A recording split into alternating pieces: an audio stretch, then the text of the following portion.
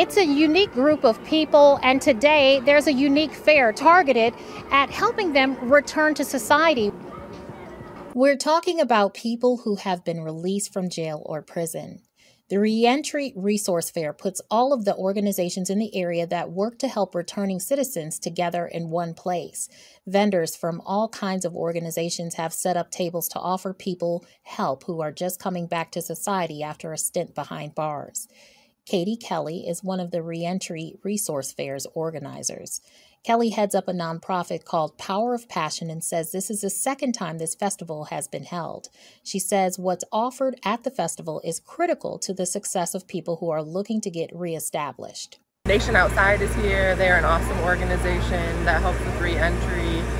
Um, the district library, um, I know a lot of times we don't think of reentry when we think of the library, but they've actually been a great resource. They were a great resource when me and my husband were going through his reentry process.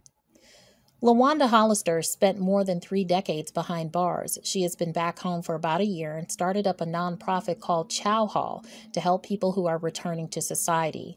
Hollister says one of the toughest hurdles many people in this community face is acceptance. The biggest challenge is to be accepted for who you are now rather than who you were when you went in. Because if you're not accepted for who you are now and you don't have the opportunity to move forward, then you revert back to who you were.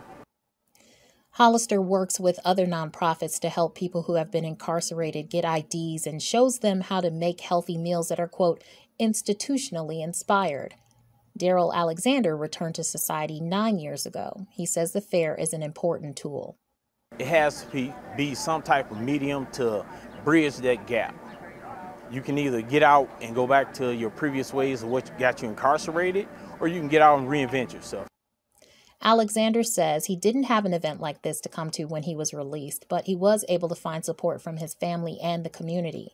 He started two businesses, earned an associate's degree in IT, and is currently working toward his bachelor's in the same field.